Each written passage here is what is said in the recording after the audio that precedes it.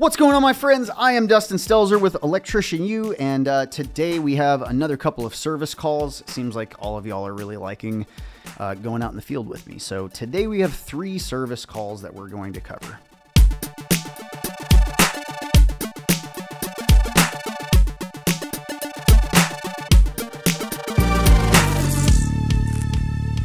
The first service call is a repeat uh, service call. So I went out to this customer's house. They kept reporting that they were having power outages, and it seemed like it was the whole house, but they weren't sure if it was just the lighting. They didn't check all the plugs, all that jazz. So the first time that I went out there, which was not today, this was a couple weeks ago, there was a Zinsco main that was a 50 amp Zinsco main that was really old that was the first thing that I noticed. And I'm like, all right, I'm like 90% positive that that is the problem. But because there's so many loose terminations everywhere, I'm just to go ahead and tighten every single one of these while I've got all the panels open anyways. And I don't have a replacement breaker on me in my van, so I would have to get that and come back for another visit anyway. So I was like, all right, I think a good thing to do would just be to say, look, let's try. There's a, there's a few things that, that could be the problem. Let's just knock uh, each one of them off the list. So the first thing I did was just take care of all of the, the tightening of all of the different terminations on the breakers and feeders and service entrance conductors. And I told her I'm probably going to have to come back for a breaker because I think the real problem is that old ass breaker from like the 60s or 70s. But I said I don't want to just go buy a breaker and then put it in and then we still have a problem. So I would rather, if it saves you some money, I would rather just tighten all of these terminations and then leave and see if that takes care of the problem. And in the meantime, I will source a breaker. Uh, Connecticut Electric actually makes replacement breakers, and I can get a replacement breaker for this if the problem still persists. So I set my calendar, I set like a little uh, notification alarm for two weeks out. And I was like, in the next two weeks, you know, she's saying that this is happening like every day, every other day. So if we go two weeks and there's not a problem, then I know just tightening all of the terminations solved the problem. So we went two weeks. I called her back. No problems. Haven't heard anything. So I was like, all right, cool. That was the problem. That Zinsco breaker is probably going to be replaced pretty soon, anyways. But at least I didn't like overcharge her for something unnecessary, right? Well, I shit you not, the next day she calls me and she's like, hey, power went out again. I was like. All right, well, I will be out there tomorrow. So today I'm going out and I open everything back up. Um, I, am suspect of this breaker for sure. This old Zinsco breaker. Uh, it looked decrepit. It looked all worn on the bottom, and uh, so I went and got one of these. Connecticut Electric actually makes brand new replacement breakers. So if you're ever in a situation like this, don't go use like the old shit that you're ripping out of other houses. I know I used to do it too. A lot of electricians do. They'll just hang on to these really old, kind of like rare breakers because in that weird situation where you're out in the middle of the boondocks and like you need to come up with one of these breakers, you've got one in your van or in your truck, but they actually make brand new ones. So in this case, I didn't want to just put something old and shitty and then she just keep having problems with it. So I went and got a brand new breaker. She had a two pole 50, which was a skinny two pole 50. I had a, a, fat two pole 50, and I knew either one would work in the situation that I had. But um, I knew going into it that that was what I was going to need. So I went to Home Depot and got one really easy. You can also go to bigelectricsupply.com and get them. Um, I actually have a link in the description below if you just want to order some. Uh, code electrician U gets you a discount off of them. So check that in the link description below. Um, so I put this new breaker in. It was very easy. Just rip the other one out, put the new one in, put it in place. Um, nothing else about the system changed. I had already gone and done all the changes in the termination. So I knew at this point I had checked everything from this main forward through the system. And she was saying it was everything in the house that was shutting off. It wasn't just a couple of circuits or a couple of lights, it was happening throughout the entire house. So I knew that it was something at the service. I didn't. I knew it wasn't something at like a sub panel or at a plug or a switch um, because it was affecting the entire house. So I felt pretty confident about that. But I did tell her when I was leaving, I was like, look, there there is a slight possibility that this is not the problem either. Um, I think that it is, but you know, I don't know that you're not like losing a phase every once in a while and there's something wrong inside your meter or something weird like that. So I was like, let's just monitor it again. Another two weeks goes by uh, I'll check in with you and we'll see how everything's working. And if there's no problems, then I feel good uh, that that was that was the problem. So sometimes you don't have like a clear answer, right? As as service techs uh, in the electrical field, um, or you know plumbing HVAC. Like we're always going into environments that are like weird shits happening. Most of the time when we get there, it's not there anymore. You know, so we're like chasing down an unknowns and chasing down a ghost, and we're taking stories from people and their advice and trying to figure out, kind of do detective work. Um, so this is a perfect situation like that where I didn't really know, I wasn't able to replicate the problem. I was just trusting their word, um, but I think that I solved the problem. All right, so uh, after that job, um, I went down the road. I actually had like an hour and a half drive ahead of me. This was on the complete other side of town.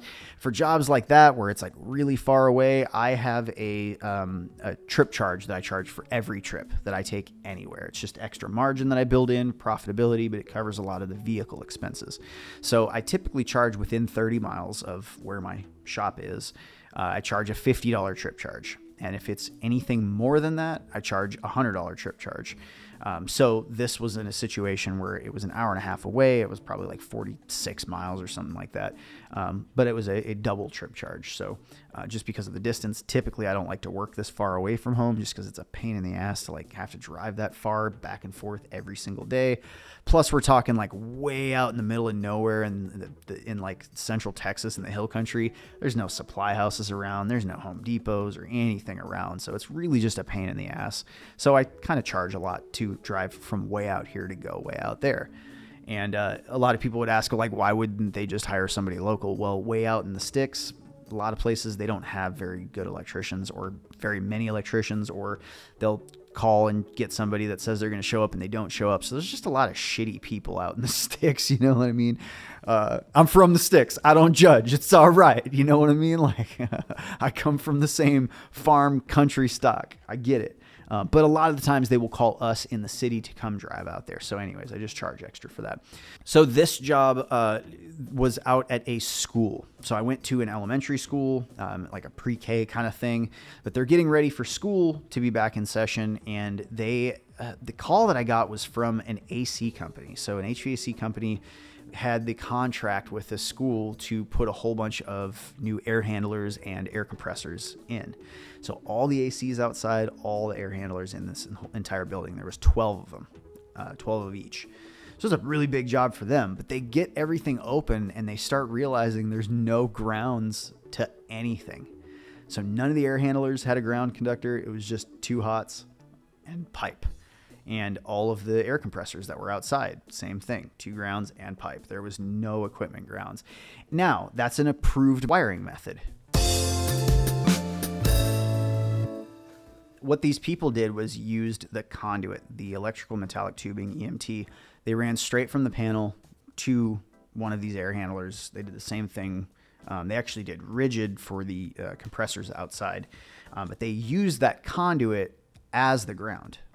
So can we do that or can we not do that?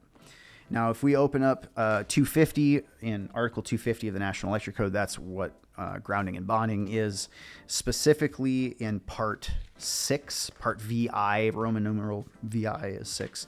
Um, that's where it talks about the types of equipment grounding conductors that we can use. So you don't always have to use an actual conductor for your equipment grounding conductor. You can use other things. So um, it says in 250.118 types of equipment grounding conductors. The equipment grounding conductor run with or enclosing the circuit conductors.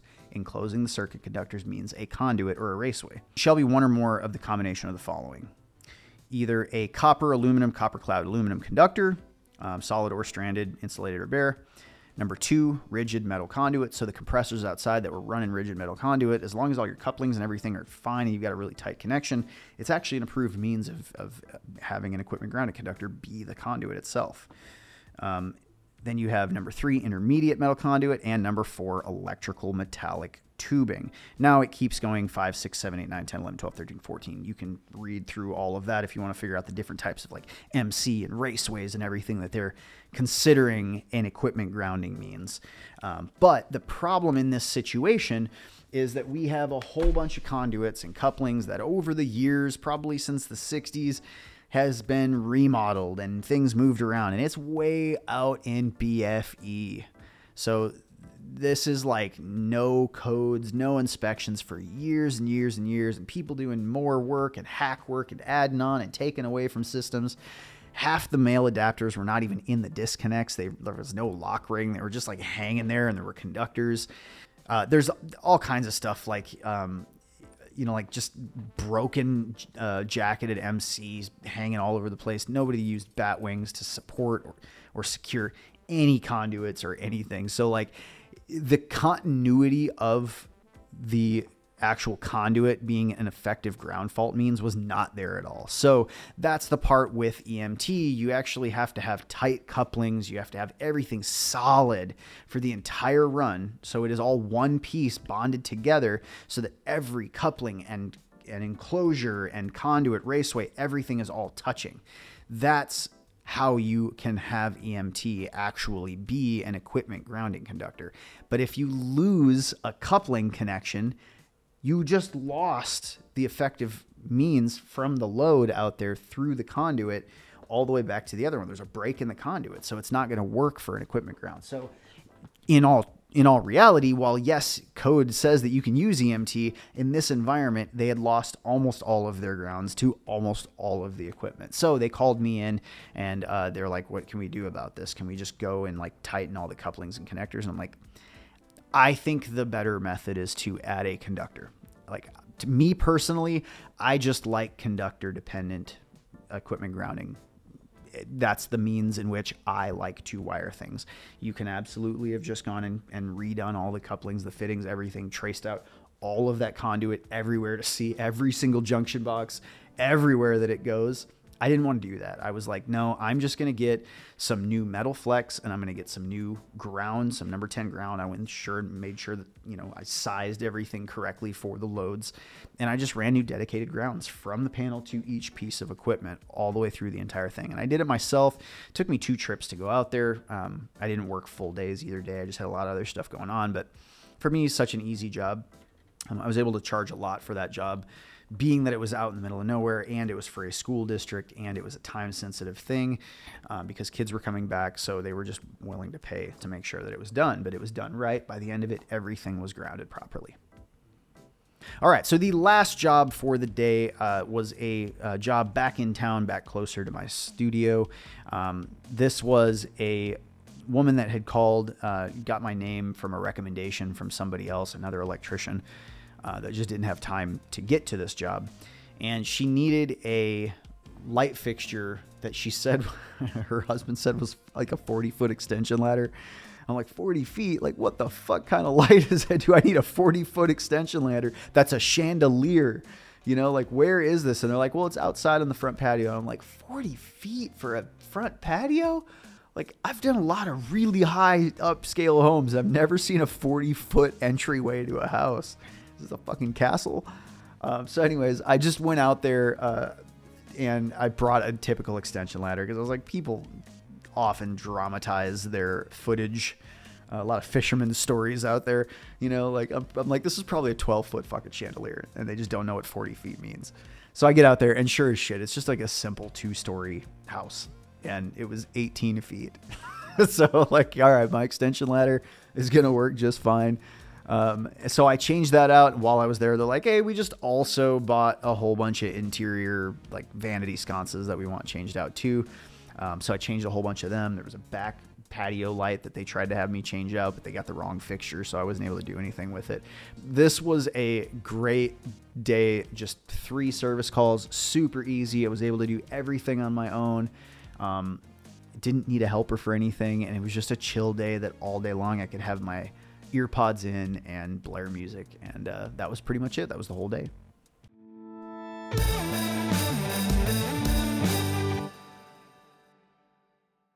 Now, one thing to bring up this is kind of a fun fact slash safety time.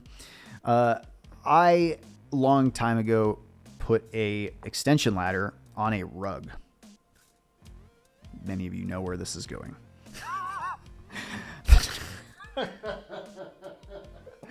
Bro, I've done some stupid shit, okay?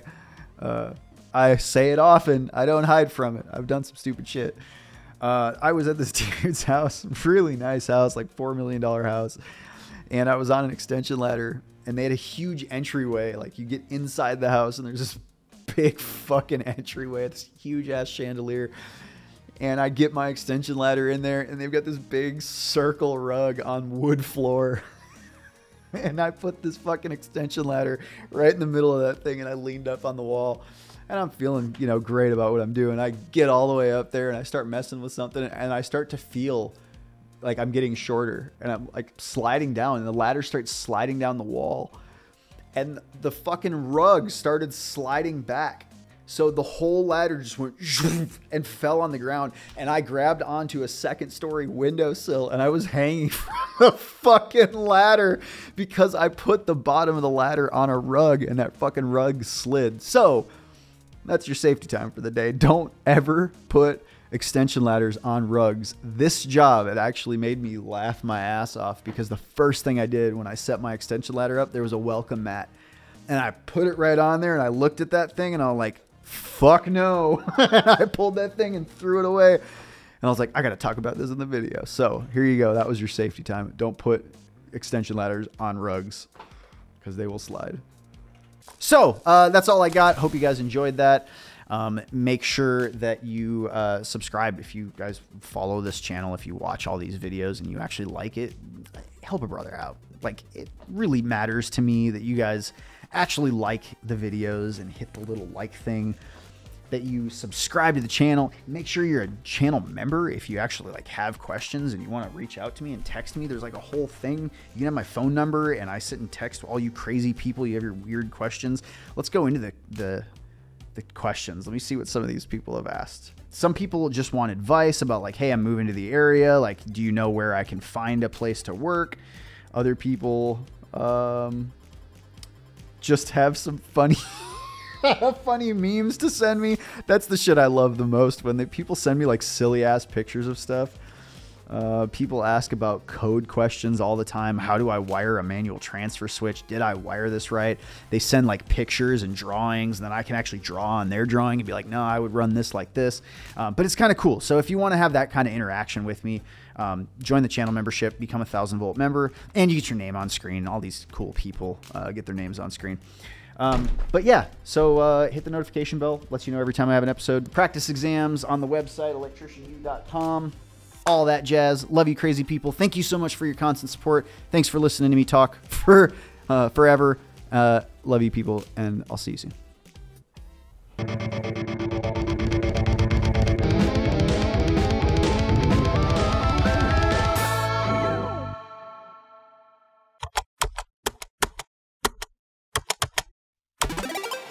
Descant music and video.